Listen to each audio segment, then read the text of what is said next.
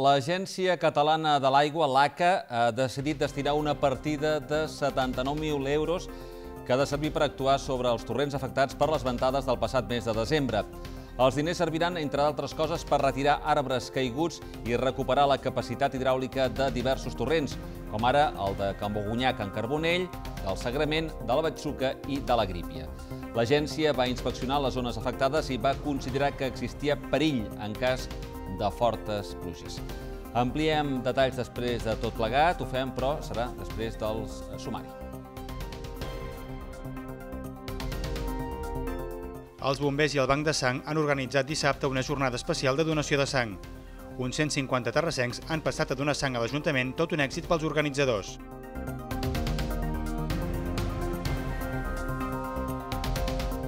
L'Atlètic s'ha proclamat campió de la Copa del Rei aquest diumenge en derrotar el Real Club de Polo. La victòria s'ha decidit a la tanda de shootouts per 3 a 2.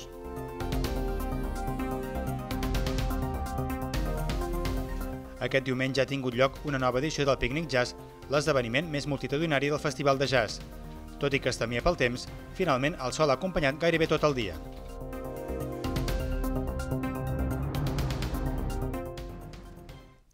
Com dèiem, l'Agència Catalana de l'Aigua, l'ACA, destina 79.000 euros a actuar sobre els torrents afectats per les ventades que vam patir a finals de l'any passat.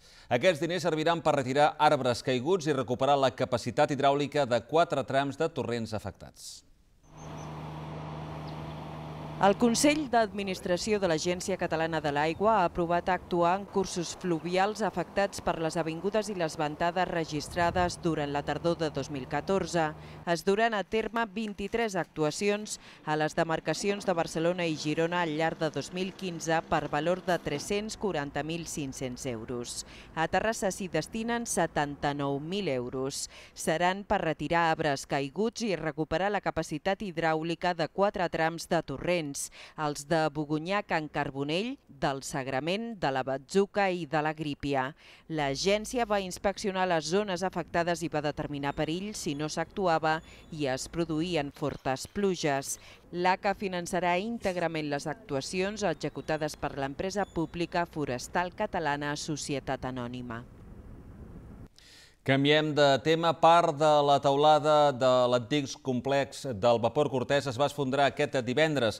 Les restes que es van desprendre van caure al mateix interior de la fàbrica, per la qual cosa no va afectar el carrer i no va causar cap desgràcia personal. Les filtracions d'aigua sobre l'estructura de la taulada haurien pogut ser la causa més probable de l'esfondrament d'uns 30 metres quadrats aproximadament, segons la valoració d'urbanisme.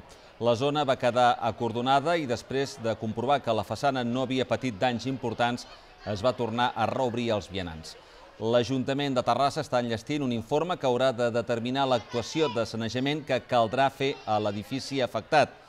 Es dona la circumstància que fa només uns dies es va enderrocar una part del mateix edifici per motius de seguretat. L'antic complex industrial del Vapor Cortès està situat al carrer Frederic Soler, davant mateix de l'escola al cim, al barri de Canaurell.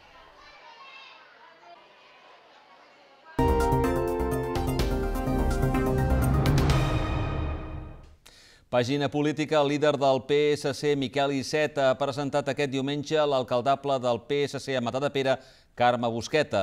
La nova candidata es marca com a objectiu aconseguir entre dos i quatre regidors. Els socialistes s'han passejat pel poble per parlar amb els ciutadans i han acabat amb una reunió per conversar amb la candidata. Carme Busquet ha estat presentada aquest diumenge com a alcaldable del PSC a Matadepera. Ho ha fet acompanyada del primer secretari dels socialistes catalans, Miquel Iceta, que ha visitat el municipi juntament amb l'històric dirigent del partit, Manel Royes. La nova candidata es marca com a objectiu aconseguir entre dos i quatre regidors en les properes eleccions municipals que se celebraran el proper 24 de maig. Aquí a Matadepera, on vaig estar vivint, encara hi ha coses que són igual com quan jo vaig marxar. Vull fer l'aposta del meu esperit i ganes de treballar per la gent, per les persones i dins del Partit Socialista, de canviar, modificar, ajudar, col·laborar amb les necessitats que hi hagin de tota la gent del poble. Estic aquí per millorar i ajudar amb tot l'equip que tenim a darrere a les persones. Estem en un moment eh, de molts canvis, tant a nivell de Catalunya com de tot Espanya, i nosaltres el que volem és afermar des de les eleccions municipals la idea de, del que han de fer els ajuntaments, que és dedicar-se sobretot a millorar la situació de les persones, a intentar dinamitzar l'economia local i a garantir transparència i eficàcia amb la gestió eh, dels afers públics i dels diners públics. Els socialistes han passejat pel centre del poble per parlar amb els ciutadans i finalment han acabat amb una reunió per conversar amb la candidata. El dirigent de Convergència, el terrassenc Josep Rull, s'ha fet veure aquest diumenge al Pícnic Jazz. A banda de repassar l'actualitat política nacional, Rull ha aprofitat per mostrar el seu suport a la candidatura de Miquel Samper, l'alcaldable de la Federació Nacionalista pels pròxims comicis del mes de maig. El coordinador general de Convergència Democràtica de Catalunya, Josep Rull, ha visitat aquest diumenge al migdia el Pícnic Jazz Terrassa. A banda de repassar l'actualitat política nacional, Rull ha aprofitat per mostrar el seu suport i defensar la candidatura del seu hereu, Miquel Samper, l'alcaldable de la Federació Nacionalista pels comicis municipals del proper 24 de maig. Miquel Samper representa um, un candidat independent i, hem, i li volem agrair. Hem anat a buscar a fora del partit algú que ha confiat amb les sigles d'aquest partit per representar el millor de progrés a, a Terrassa i una persona amb una solidesa a nivell de gestió i a nivell de proximitat. Així és com afrontem aquestes eleccions. Aquest sentiment de la il·lusió serà una miqueta la base de tota l'acció de Convergència i Unió. Eh? Buscar la il·lusió dels terrassencs, que després de 36 anys, com deia el Josep, d'una mateixa línia política, doncs eh, penso que ha de ser l'eix per, per aquest canvi, per aquest canvi necessari. Samper ha reconegut que encara no tenen la llista tancada, però que serà transversal i representativa de tots els sectors de la ciutat. I més informació política. Esquerra Unida i Alternativa ha denunciat l'elaboració de la llista electoral de Terrassa en comú. La formació no presentarà cap candidat al procés de primàries que s'ha de celebrar al cap de setmana vinent. Tot i el desacord en l'elaboració de les llistes, Esquerra Unida i Alternativa aposta per la confluència i la unitat popular. Esquerra Unida i Alternativa Terrassa denuncia que el nou partit polític de confluència d'esquerres, Terrassa en Comú, no hagi comptat amb ells a l'hora d'elaborar la llista. La formació assegura que ja hi havia un equip pactat dels sis primers candidats i que se'ls va deixar de banda. Nosaltres volíem que, que, que el candidat que nosaltres proposàvem, que el candidat d'Esquerra Unida i Alternativa formés part d'aquest equip, eh, perquè creiem que, eh, que ens ho mereixíem i, i, i perquè creiem que el nostre candidat aportava coses que, que els altres candidats potser no aportaven. Eh, pensem que, que, que hem rebut un tracte injust amb, amb, amb, amb aquest tema. Esquerra Unida i Alternativa no presentarà cap candidat al procés de primàries que s'ha de celebrar el cap de setmana vinent. Tot i el desacord en l'elaboració de les llistes, la formació aposta per la confluència i la unitat popular i donarà suport a la candidatura de Terrassa en Comú.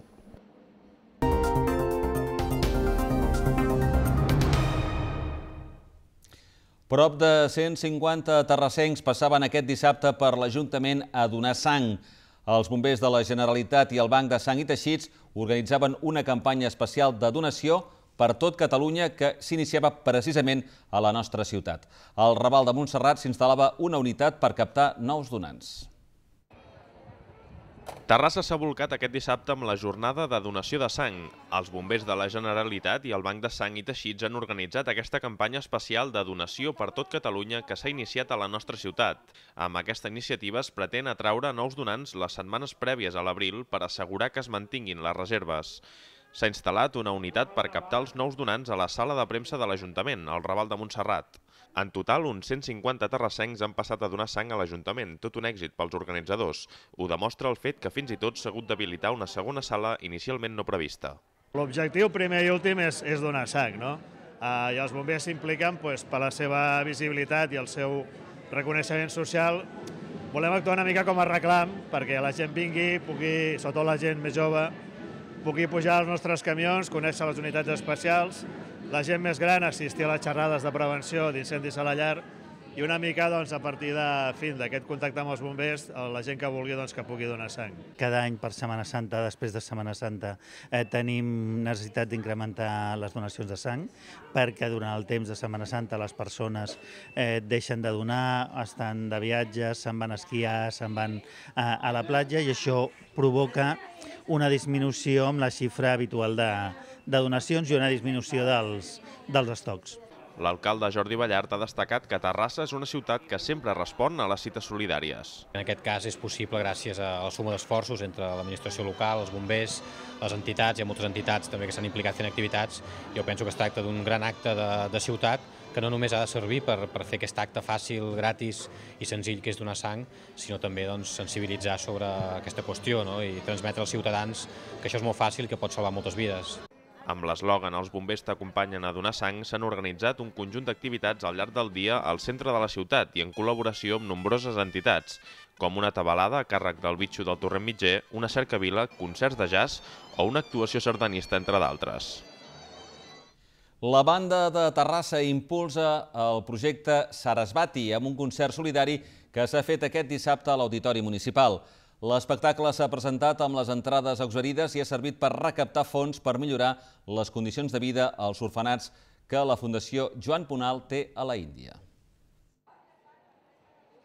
L'Auditori Municipal ha acollit aquest dissabte a la nit la gala solidària per impulsar el projecte educatiu Sarasvati, un concert amb les entrades exaurides i amb la banda de Terrassa com a protagonista que ha servit per recaptar fons per millorar les condicions de vida als orfenats que la Fundació Juan Bonal té a la Índia. Tot plegat amb la intenció de crear una banda i una escola allà, oferint als nens l'oportunitat de gaudir de la música. La Fundació Juan Bonal té 300 centres de treballs repartits en 30 països. Una de las mm, prioridades, yo digo, de nuestra fundación son los niños, porque es de la gente más vulnerable y por otro lado es el futuro de una nación. ¿no? Nosotros tenemos mucho, un proyecto lindo que se llama Amigos de los Niños del Mundo, que, que dice ningún niño sin escuela. Nuestro propósito es, sé que es una barbaridad lo que digo, pero bueno, hay que soñar para que esto pueda lograrse. Un projecte que va néixer de la mà del director de la banda, Xavier Casademunt. Tenia ganes ell de fer alguna cosa que anés més enllà de la música i, de, i que a través nosaltres de la música doncs, poder ajudar uh, amb, amb, amb algú i d'alguna altra manera i, doncs, i després a partir d'aquesta inquietud doncs el, el Xavi va contactar amb la Fundació Juan Bonal, és una fundació, una ONG que treballa per diferents països de, del món Artistes de renom com Núria Feliu, Helena Gadel, Albert Guinovart o Manu Guix hi han participat. La gala també ha comptat amb l'actuació del mestre hindú Shyam Sander.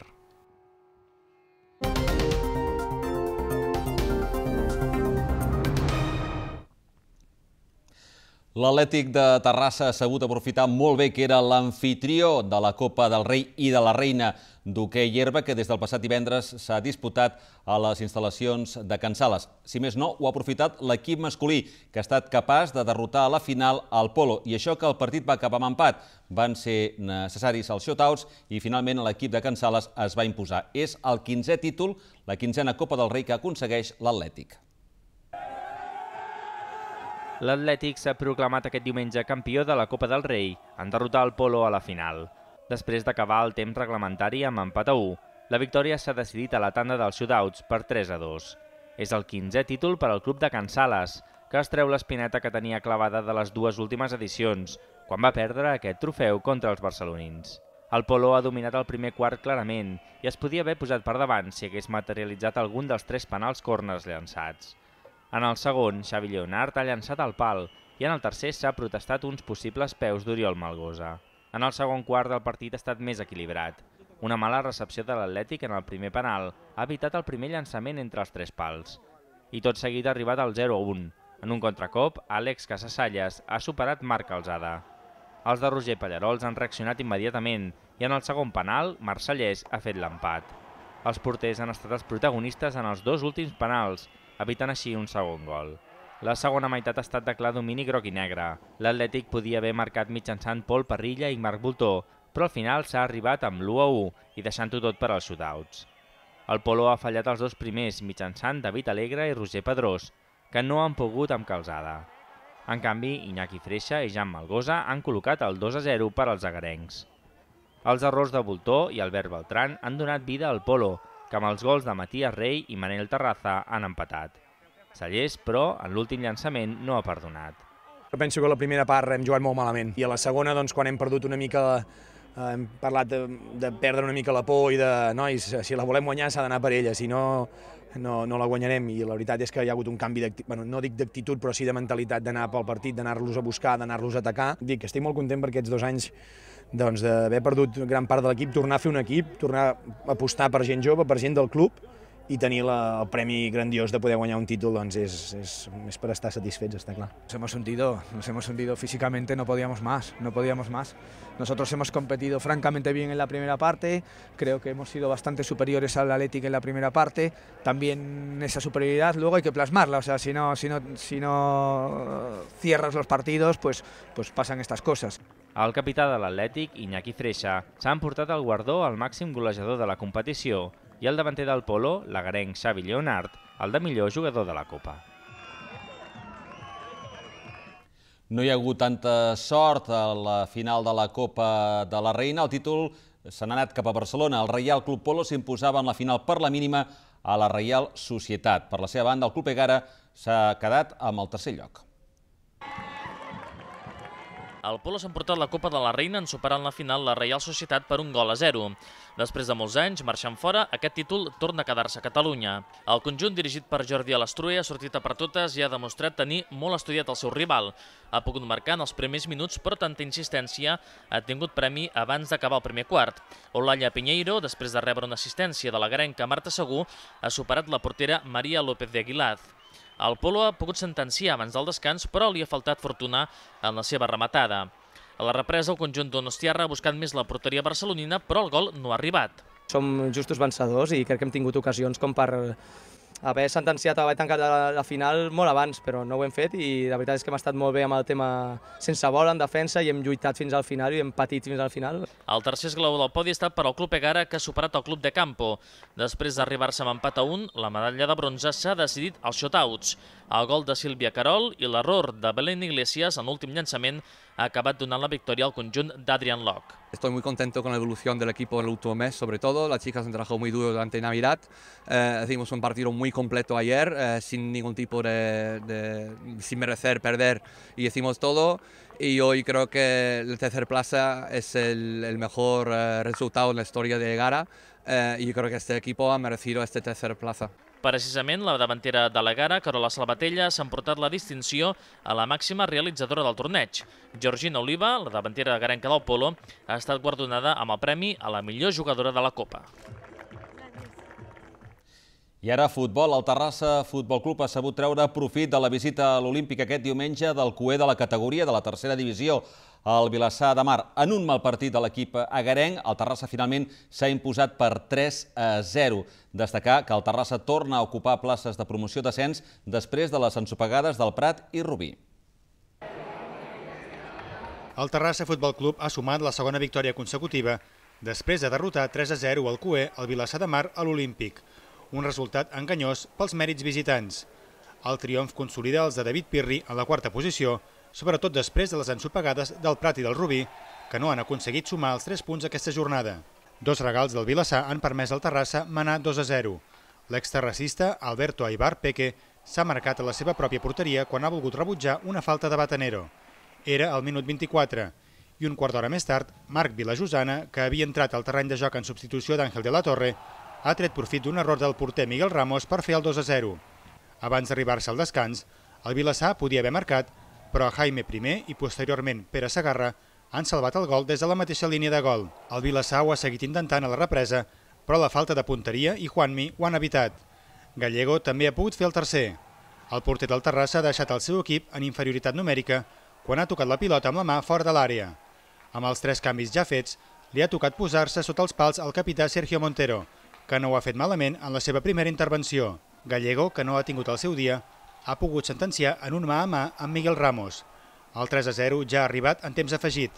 Marc Vilajosana ha aprofitat una assistència de Batanero. Al final ha habido poca intensidad, hemos tenido poca posesión del balón, no, no, no ha sido un gran partido, la verdad. Y, y lo bueno del resultado es que estamos ahí, ganamos, la gente está contenta pero quizá no, no, no yo no, no, no, no, estoy, no es el día que estoy más contento con el juego. El Terrassa visitarà diumenge el Gavà, un equip a l'alça i que suma tres victòries consecutives, l'última a Rubí. Marta Corredera ha estat guardonada com a millor esportista de Terrassa del 2014. El jurat ha valorat tant la progressió de la futbolista grenca, distingida fa uns mesos com la millor jugadora catalana del 2014, com els títols aconseguits amb el seu equip, el Barça. S'han premiat 11 categories més. La jugadora del Futbol Club Barcelona, Marta Corredera, ha estat reconeguda aquest divendres al vespre com a millor esportista del 2014 en el marc del certamen Nit de l'Esportista Trofeu Lluís Francino i Riera. Per segon any consecutiu, la gala, que ha estat conduïda novament per l'humorista i imitador Pep Plaza, s'ha desenvolupat al teatre principal, amb l'assistència d'unes 600 persones. El jurat ha valorat tant la progressió de la futbolista garenca, distingida fa uns mesos com la millor jugadora catalana del 2014, com els títols aconseguits amb el seu equip. El Barça es va proclamar l'any passat campió de Lliga i de la Copa de la Reina. A més, Corredera ha contribuït a la classificació de la selecció espanyola per al Campionat del Món Femení, que tindrà lloc al Canadà. És la primera participació del combinat femení en aquesta cita. Jo crec que és més que un premi per l'any passat, és per tota la trajectòria que vinc portant durant molts anys, que no només individual, sinó també que els èxits de l'equip han, han, han donat peu a que jo pugui aconseguir aquests personals, no? I espero que, que segueixi així durant molt temps. A més d'aquest guardó, la gala ha tornat a premiar l'esport terrassenc en 11 categories més. El conjunt masculí de waterpolo del Club Natació Terrassa, subcampió de Lliga l'any passat, ha estat distingit com el millor equip. La Unió Futbol Base Java aquí Terrassa, considerada una de les entitats més importants en el futbol formatiu català, ha rebut el guardó a millor entitat. El futbol també ha estat protagonista en la categoria promesa de l'any, en la figura de Dani Olmo. L'actual jugador del Dinamo Zagreb, internacional sub-16, es va proclamar el 2014 campió de la divisió d'honor cadet amb el Barça, sent el màxim golejador de l'equip i segon del campionat. Santi Santallac, fins l'any passat president del Club Deportiu Terrassa, ha rebut la distinció al dirigent de l'any. L'entrenador de bàsquet del Morabanc Andorra, Joan Penyarroia, per l'ascens assolit a l'ACB i per la seva distinció l'any passat com a millor entrenador català, ha rebut el Premi Entrenador de l'any. Els germans Rojas, Antonio Ángel i Eduard, referents del futbol sala garenc i fundadors del ja desaparegut futbol sala Bonaire, han rebut el guardó a la dedicació al món de l'esport. El torneig Hockey Solidari i tot el que mou al seu darrere ha rebut l'estatueta a la millor organització d'esdeveniments esportius. El porter de futbol sala de Prodis, Miguel Fau, ha rebut el Premi a l'Esport Adaptat per a Discapacitats Psíquics. La defensa personal ha tingut també cabuda en aquest certamen, amb el Premi per a Francisco Llambric, campió d'Espanya de Iauara en l'apartat d'Esport Adaptat per a Discapacitat Física. És evident que Terrassa està extraordinàriament ben representada en tots els esports per persones que lluiten per aconseguir els seus objectius, per anar sempre una mica més enllà, però que també porten al cor la ciutat eh, de Terrassa, porten el nom, porten la bandera sempre allà on van de la nostra ciutat. L'Institut Blanchard, per la seva constància i continuïtat en els programes del Consell Esportiu, ha estat guardonat amb la fita de l'esport escolar i l'empresa Nopco, que ha fet donacions de desfibriladors de forma desinteressada a entitats esportives, ha estat premiada amb el suport i col·laboració en el món de l'esport.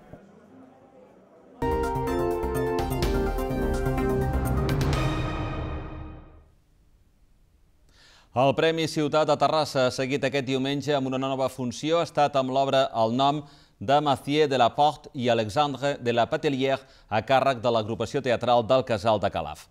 La trama de l'obra gira al voltant de Vicenç i l'Anna, que són convidats a sopar a casa de la seva germana Isabel i el seu cunyat Pere. Al sopar es trobaran també amb en Claudi, un vell amic de la infància. Mentre esperen l'arribada de l'Anna, que està esperant el primer fill de la parella, els amics enceten una conversa sobre la paternitat. Tothom es queda sorprès quan Vicenç revela el nom que han triat pel nou vingut. La propera representació del Premi Ciutat a Terrassa de Teatre serà diumenge vinent, 22 de març, a les 6 de la tarda, a la Sala Crespi del Casal de Sant Pere, amb l'obra Misteri de dolor, d'Adrià Gual a càrrec del grup Dramàtica del Círcul de Badalona.